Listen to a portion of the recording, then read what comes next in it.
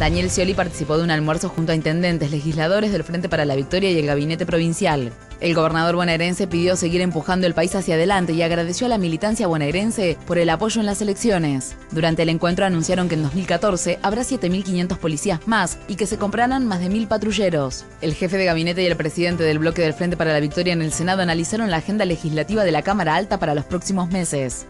El intendente de Tigre y diputado electo Sergio Massa ratificó que el Frente Renovador no participará en la interna del PJ bonaerense convocada para el 15 de diciembre. La Junta Médica reveló que Ángeles Rawson sufrió abuso sexual sin penetración.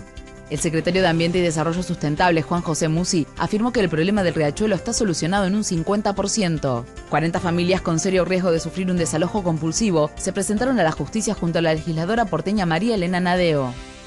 El zaguero de Racing Esteban Sabelhich reconoció que los dos triunfos vinieron muy bien en lo anímico luego de 12 fechas consecutivas sin victorias.